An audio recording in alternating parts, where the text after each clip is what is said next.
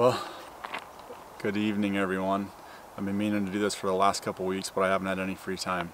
Tonight, I'm gonna shoot some arrows, so I figured I'd run through this real quick. I recently picked up a new set of broadheads, a three pack of the Annihilator 125s. These aren't the XLs, these are just the standard size. I like the way they look, they're not super bulky. But my favorite thing about these broadheads is that there's no cutters, there's no bleeders, there's no interchangeable blades. It's just one solid head, very simple design, and they fly out of the box just like your field point. There's no tuning necessary, and they're extremely sharp.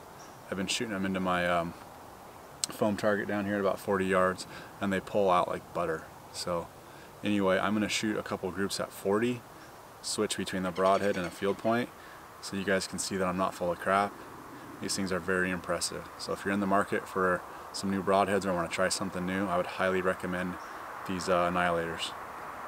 Anyway, take a look. Okay, first up, field point, 40 yards.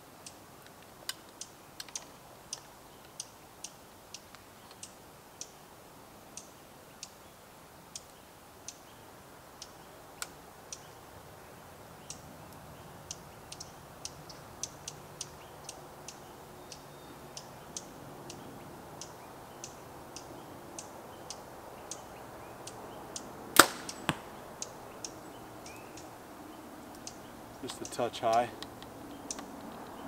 Okay, 125 Annihilator.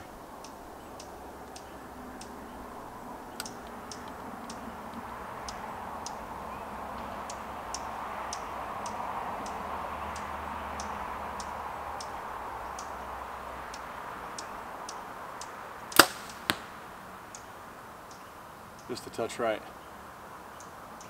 Not a bad group though.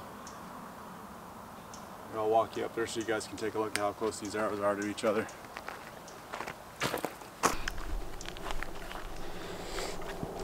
Alright, walk up to the target real quick just so I can show you guys. First two arrows of the night, so no excuses, but a little stiff. Anyway, no one cares when you're hunting, so you gotta make them count when you get your opportunity. The point is, they fly just like each other. Check it out.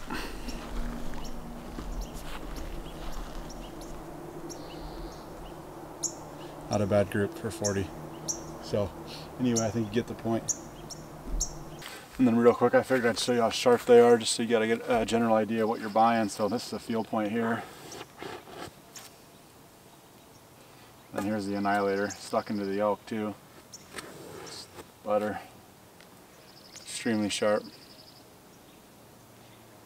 If you're in the market for a new broadhead or want to do some tinkering, definitely give these a try.